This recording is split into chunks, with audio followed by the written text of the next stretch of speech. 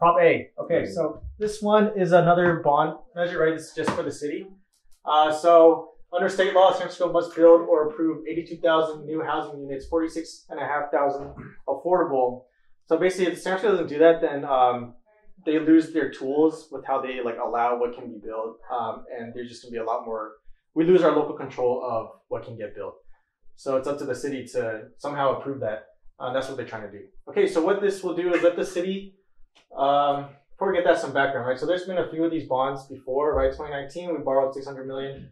2016 we uh, repurposed 260.7 million. 2015 we borrowed we borrowed 300 million, right? This is all for affordable housing, just to build more housing in San Francisco because things are very expensive. Um, this is what our progress has been. 2021, we uh, planning department has authorized 2,000 units. We've completed 4,600 in that year. 2022, so on and so forth. So we're building right four digits, you know, low low four digits every every year. And 2031, do the math, we're probably not going to reach that number. Um, but anyways, uh, so these affordable uh, housing buildings, developments, right? By definition, they're affordable, so the rents are going to be lower. Um, it means that uh, uh, we're going to read through this. Okay, so when you're building affordable versus market rate, the difference in costs um, is not that great because the, the land still costs the same, the materials are cost very similar, right? Things could look pretty luxury, but you know they're they're, they're not that different. Um, you could have a, a, little more costs, right? Affordable projects. Uh, oftentimes they have a lot of stipulations. Um, they have to be built with uh, skilled union labor, and that's expensive. So, in, in actuality, affordable housing might be a little more expensive than luxury housing. So, what does this all mean, right? To, to make the numbers work, if you're trying to build something up, um, you got some issues, right? Your your revenues gonna be lower, right? The rents coming in in the future, and in your other in your whole portfolio, your rents are lower and you still have to pay almost the same amount to get things built. Uh, and what what that means is you have to get piece by piece financing. You have to secure funding from the local government, the state government, the federal government, uh, philanthropy, whatever, just to get these projects built to serve uh, affordable uh, incomes that are quite low. Okay. And what happens is you can't, if one piece falls apart, right? So I got 25% of my funding from the feds, 20% from the state, right? Whatever. Um, if one of the people say no, then then I'm down 20% of my funding, and then this project is on pause. Idea uh, with this is we replenish the pot of money that the city has to give to these projects, and hopefully we can get more affordable units built. That's not complete. city some of the numbers here. So we are asking, the city is asking for $300 million in general obligation bonds. Uh, general obligation means that uh, you just have to pay it back. Revenue means the, the project that you're borrowing for generates revenue, and that's how it pay, pay the, the borrowing back. But this one, we just have to pay back. Okay. Um, is some of the most of the money is to build, to acquire, to rehab new rental housing, and then the other is for um, low to moderate incomes.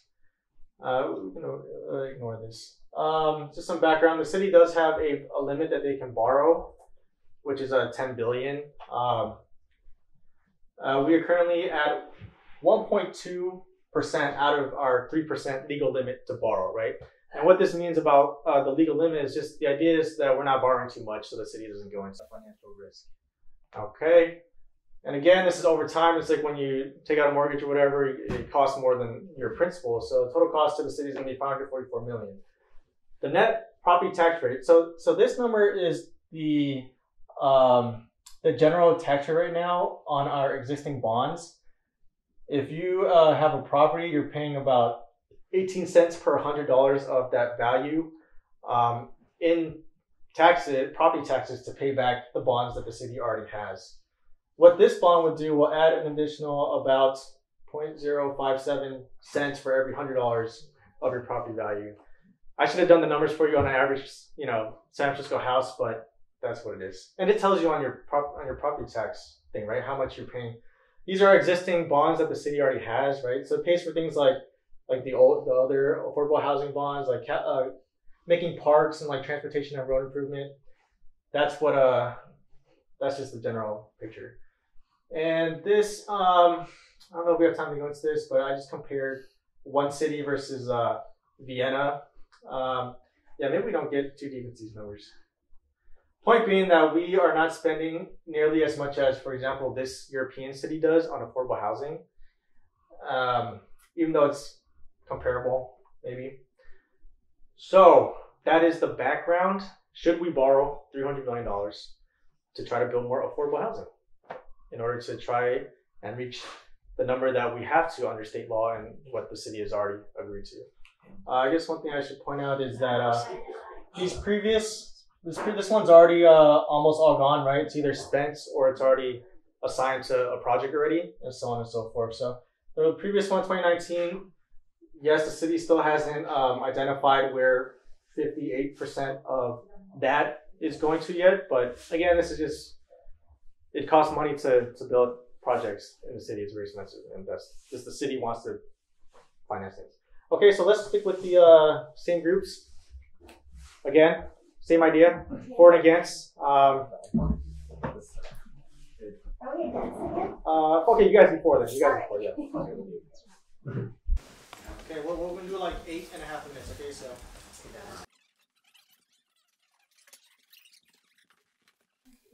All right, take it away, 14. Tell us why we should vote for this. All right, that first one is cut off. But um, okay, uh, housing.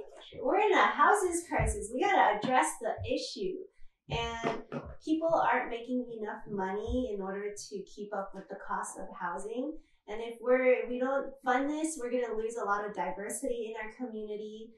Think about the firefighters and our teachers, nurses, veterans, No, we don't need to. families, and seniors. Firefighters do all right. Um, Yeah. We gotta provide essential, affordable housing for everyone. Um, what else? We gotta we gotta meet our state housing goals of forty six thousand units in the next eight years. So it's really essential that we work towards building more housing in the city. There's going to be an annual independent audit if you're worried about where the money's going and how it's being spent. Um, we're tr- the city's trying to earn matching funds from state and federal affordable housing programs with the goal of doubling the investment for housing. And your property taxes won't increase. This is a bond. Um, it's being supported by Mayor London Breed, the Board of Supervisors President Aaron Peskin, um, a lot of other organizations. Anything else you guys want to add? All right, going once, going twice. Okay, again, Tell us why we should not vote for this bond. Yeah, you know, borrowing costs are higher due to inflation. I'm, I'm sorry. what? Am I wrong? Borrowing costs are higher than they used to be due to inflation. So, you know, borrowing money in 2019, it was easy. Inflation was like low, or like interest rates were lower back in 2019 before the pandemic, before all these disruptions, right? These days, uh, money isn't cheap. I mean, you can see it in the tech industry. That's why there are a ton of layoffs because everybody was like, "Hey, we get there's like free borrowing everywhere all around." These days, not so much. Uh, so, you know, borrowing money, it's actually more expensive than it used to be. Uh, this will actually increase property taxes for all property owners, right? Uh, and 50% of those uh, increased property taxes are allowed to be passed on to tenants, which means that your rents are going to go up for everyone. Um, also, another reason is, you know, the city still has money from a previous bond measure, 2019. So it's like, hey, you know, why don't you eat your first serving of food before you come back for seconds? Uh, and also, you know, the market, the market, the free hand of the market, you know, I think it's a good, you know, hand. And it will incentive. It just incent like if we don't have enough housing, then that just incentivizes other municipalities in like Daly City, Marin to build their own housing, and you know, they, they get some of the people that we can't uh, house. Some of the people go over there. It's fine.